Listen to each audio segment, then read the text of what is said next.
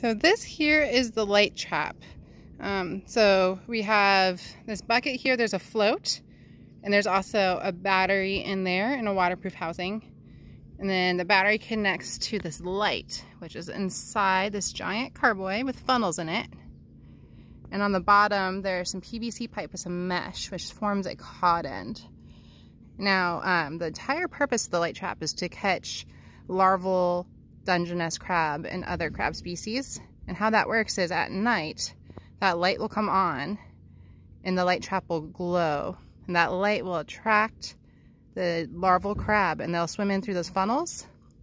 And because the opening of the funnels are so much larger than the, the exit point, once the crab are in there, they find it hard to find their way out. And then in the morning, we'll pull the trap the water will drain out through that mesh on the bottom and all the larval crab will stay in. So that there is a light trap.